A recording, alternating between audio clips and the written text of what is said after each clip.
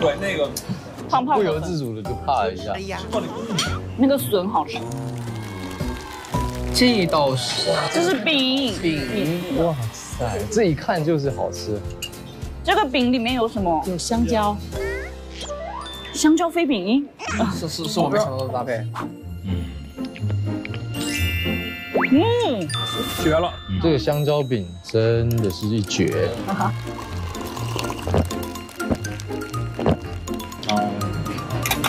我来尝一个。脆皮扣也是一个传承菜。我们这个脆皮扣要求炸的时候呢，表皮金黄酥脆。哦它是有菠萝吗？广西盛产水果，用水果做菜，再打上一些特制的芡汁，就达到一个脆皮扣的这么一个要求。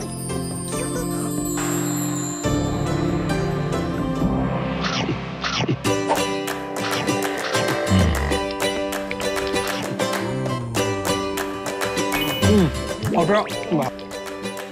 满足啊！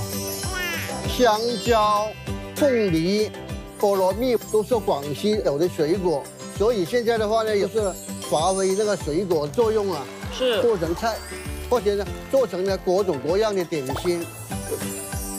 好香，哇！老师傅在介绍自己家的菜品的时候，特自豪的。对，黄师傅刚刚也一直在强调啊，说三十多年以来都在坚持的做一件事情，而且还把他最拿手的、最厉害的继续的往下再传承。对啊，他对自己职业、对自己工作工作单位的那种情，还是对自己职业的那种热爱、崇敬，他很很感恩。对，所以就觉得还是非常敬畏老师傅，然后也谢谢老师傅为我们带来这么美味的美食，真的特别好吃。谢谢老师傅，谢谢。谢谢黄师傅，谢谢您的继承，谢谢您的发展。感谢你们，谢谢老师傅，好谢谢谢谢谢黄。请你们慢慢品尝。好的，谢谢老师傅，祝您身体健康啊！我发现黄师傅眼神啊，还是非常炯炯有神。嗯，对。就我觉得今天的跟昨天晚上的菜又是不同的感觉。对，昨天晚上我最后吃饭的时候，我说好不同，就是因为我印象当中的广州跟广西的菜是这样的。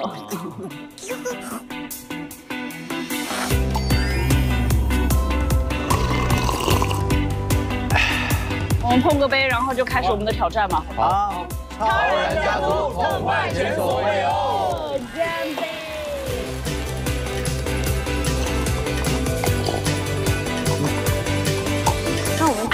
个挑战啊，要玩一点不太一样的东西。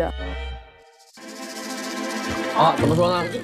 我就看看有多么不一样。本期超然家族将首次以家族形式团体出战，只要你们集体痛快值达到四百，本期的惩罚就由导演组来承担。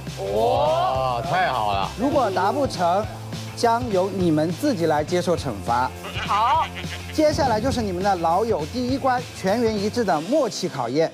六人将被挡板隔开，每人桌上都放着九种早点和康师傅冰红茶。每一轮六个人都要在看不到彼此的情况下，根据导演的提示选一种早餐，再喝一口康师傅冰红茶。六轮之内有一轮六人同时选一种早餐即可挑战成功，皆可获得一百痛快值。好吧，来吧，来吧。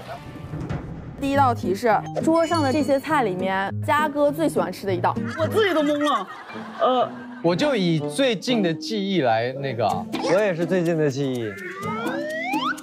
准备好了吗？这个吧？对了。那我们现在公布一下答案。没有一个一样的。